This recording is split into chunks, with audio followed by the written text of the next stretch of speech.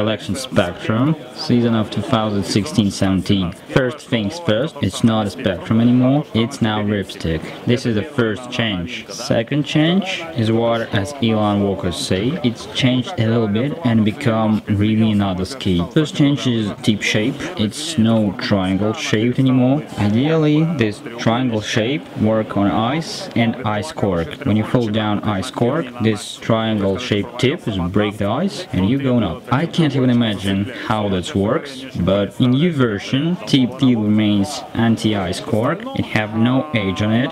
Next in the line, they remove separation on aluminium and carbon and every skis become carbon. Now they added wood core and add carbon reinforcement. We won't think a lot about it because we're more interested in riding than in theoretical things and how the skis are made.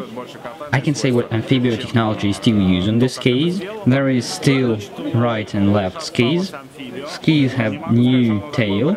It looks like a ski tour tail and it has ski tour parameters. Very small rocker. The skis nearly have no rocker at the tail.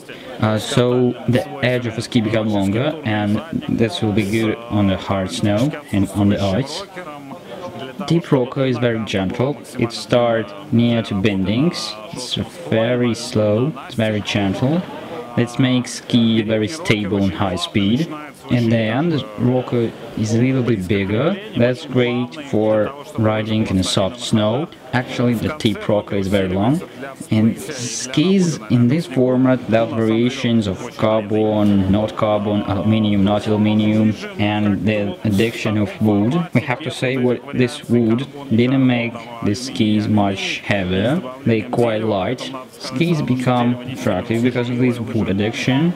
They're not really hard, not out of range, but they're not really soft.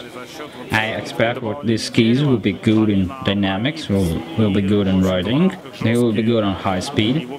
These Cybers start from 94 waist, but in my opinion this ski is like a semi-woman ski. After it goes 96 waist ski, and main Cybers start from this model, from this particular model.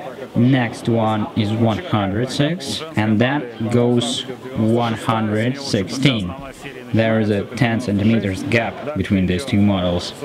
Depending from snow conditions and slope conditions, 96 base model is more for hard snow and ski touring and 116 is maybe more for riding and riding in a deep snow and powder. That's logical.